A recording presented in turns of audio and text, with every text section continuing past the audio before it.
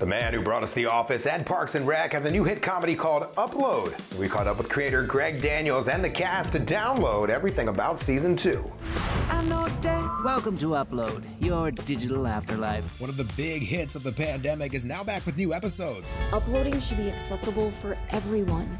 We need to hold the greedy, powerful people accountable. Upload giving us a glimpse of what it might be like if Silicon Valley created a version of heaven we could pay to have ourselves uploaded to. There's some great, amazing, wonderful things about technology, and there's some not so great things about technology. And there's a lot of comedy in how you're you're sold a bill of goods when something comes out, and they only talk about the positives. There's a lot of truth in that, and there's a lot of comedy in that. Who's your daddy? Greg Daniels finding comedy in a lot of places, like his iconic shows The Office and Parks and Recreation. But with Upload, it's humor mixed with high tech privacy concerns. Kind of being in the middle of really appreciating technology for what it what it does, what it can do, but also having that appreciation for when we do get to be in person. So I, I go through moments where I really appreciate technology for especially moments like this.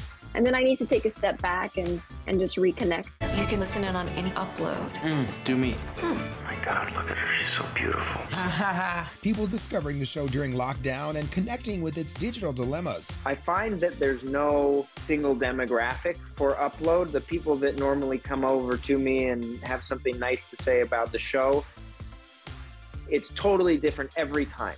Uh, all walks of life, and that's really, really cool to me. Ingrid gave up everything and uploaded for me. I'm with someone too. But a big question we had to ask the cast if the technology actually existed, would they upload themselves? I would. Um, and I think the big draw is being reunited with people that I miss. You know, I'm still it's still a no for me. It's still a no for me. And part of part of the reason it's a no for me is my own character. Upload me, baby.